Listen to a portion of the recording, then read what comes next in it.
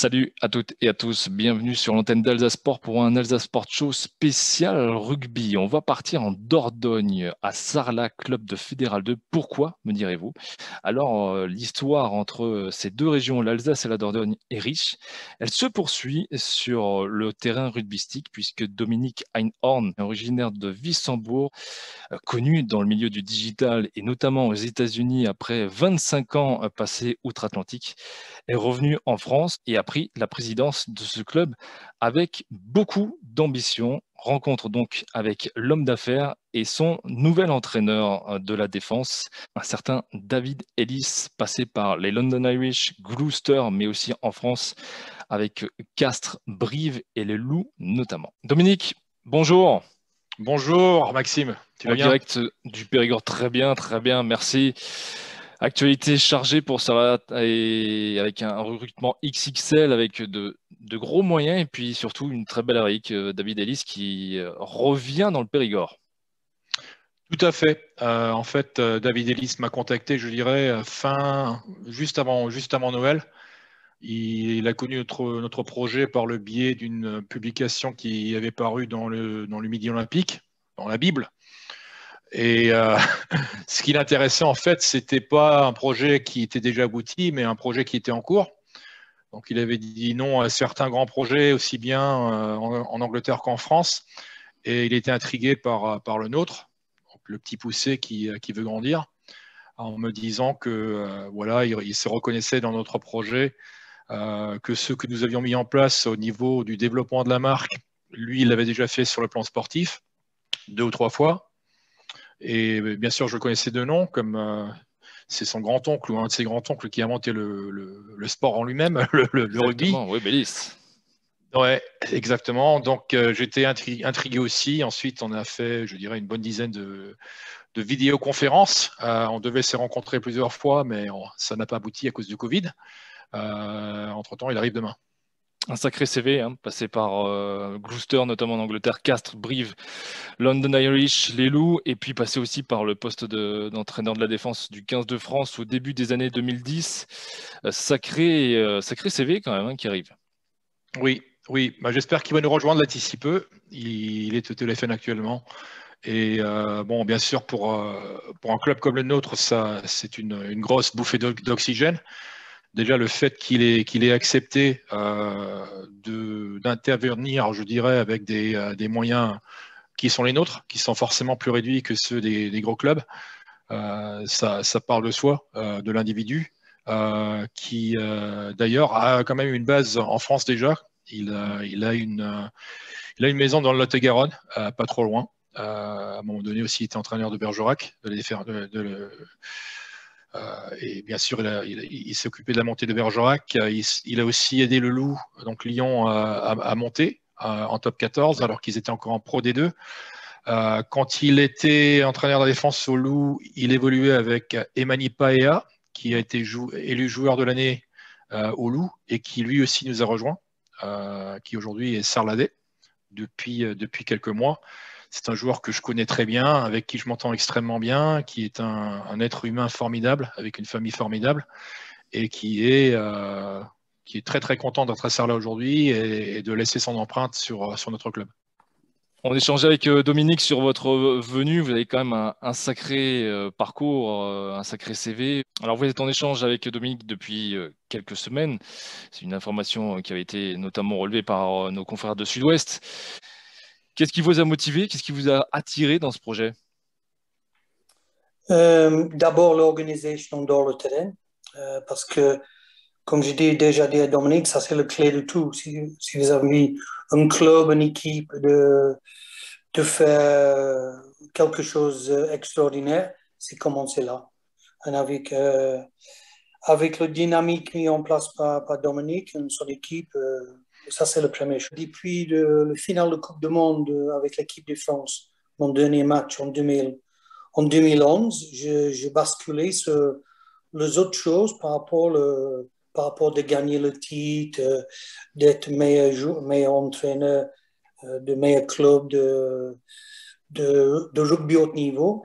La chose qui m'a intéressé beaucoup plus maintenant, c'est le, le projet. De prendre un club de monter un club le plus haut possible. Ça s'est déjà commencé en 2012 avec, euh, avec Lyon, mhm. avec le Loup. J'ai passé cinq ans et demi avec eux pour.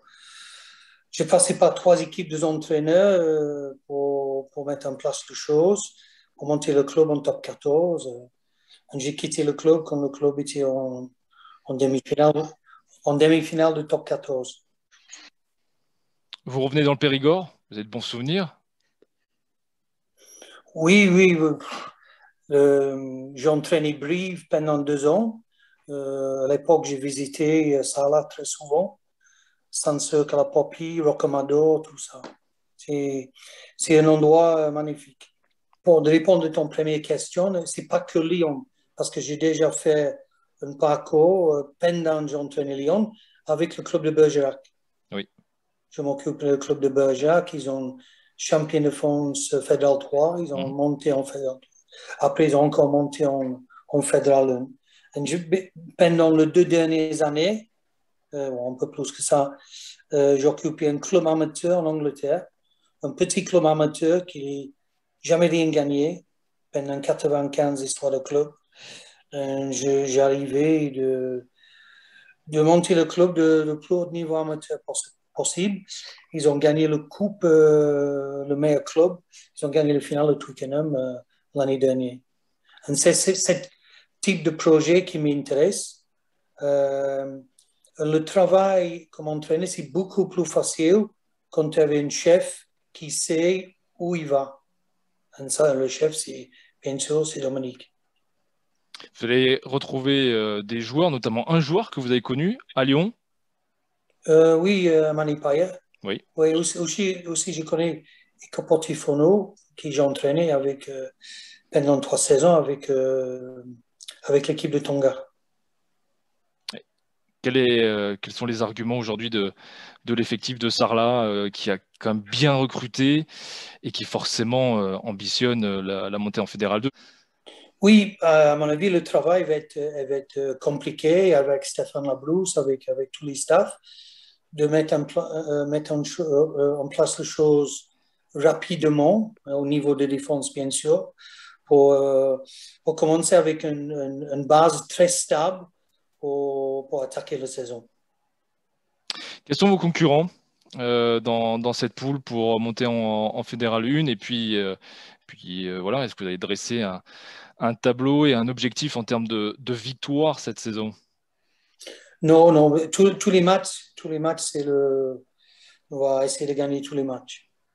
Euh, avec, euh, avec, le, avec le favori, euh, moi, je, je prends un match par un, je calcule qu'est-ce qui se passe avec, avec les autres clubs quand on approche le match, toujours préparer un petit peu en avance le, le tactique exprès pour, pour, jouer contre eux.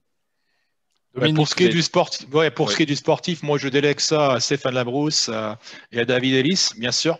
Euh, ce sont eux les spécialistes, euh, beaucoup plus que moi. Bien sûr, on ambitionne euh, de récolter le plus de victoires possible. En ce qui concerne les concurrents directs, aujourd'hui sur le papier, je dirais l'ancienne équipe de David Bergerac, mhm. qui bien sûr est dans, est dans, notre pool.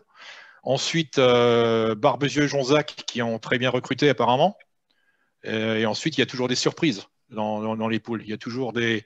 Bien sûr, comme sur le papier aussi, nous, on fait figure de, de, favoris. Forcément, euh, les clubs sortiront leur meilleur jeu quand ils nous affronteront. Oui, vous allez être la cible quand même de, de cette poule-là.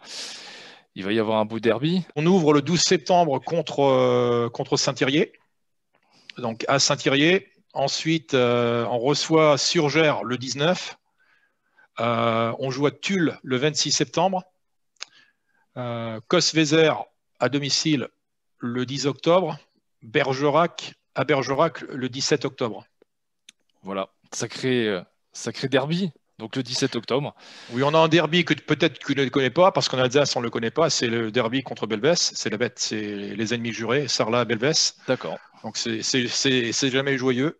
Euh, c'est il y a toujours des comptes à régler euh, durant, durant, durant ces matchs. Ça fait très longtemps que ça dure. Euh, et je pense qu'il n'y aura, aura aucune exception cette année. On est euh, plus qu'un joueur finalement, on est, membre de l'équipe commerciale, marketing, communication. C'est peut-être un supplément euh, aussi pour le terrain, pour une équipe qui a une étiquette d'ultra favori. C'est peut-être des choses qui peuvent vous servir au cours de la saison, dans des discours, dans des situations, des matchs qui pourraient être très compliqués Oui, bien sûr, c'est une c'est une pression supplémentaire sur le joueur. Parce que c'est pas un joueur qui vient d'ailleurs.